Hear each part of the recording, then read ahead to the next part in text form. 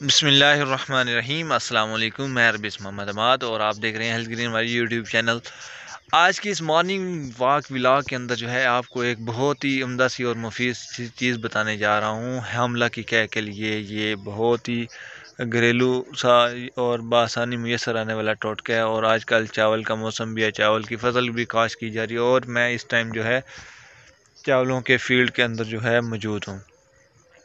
तो इसी बारे में आज आपको एक नुस्खा बताऊँगा कि चावलों का इस्तेमाल जो है हमला की कैर रोकने के लिए कैसे किया जाता है।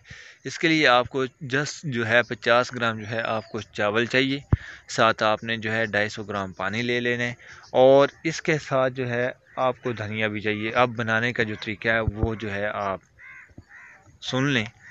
बनाने का तरीका बहुत ही आसान सा है, सिंपल सा है।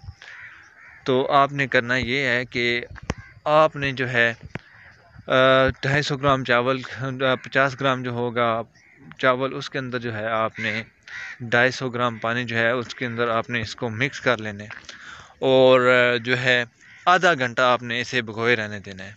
और आधे घंटा के बाद जो है आपने इसके अंदर जो है पाँच ग्राम जो है धनिया आपने डाल देने पाँच ग्राम धनिया डालने के बाद आपने इस, इनको मसल कर जो है इनका पानी निकाल लेना है और उसके बाद जो है आपने इसकी चार खुराकें बना लेनी है। सुबह, दोपहर और शाम जो है, इस दुरानी के अंदर जो है आपने ये चार खुराकें लेनी है। इन जिस किस्म की भी क्या होगी हमला की, वो ज़रूर रुक जाएगी। आज की इस वीडियो को ज़रूर लाइक करें, चैनल को ज़रूर सब्सक्राइब करें। नेक्स्ट वीडियो में आपसे मुलाकात होगी।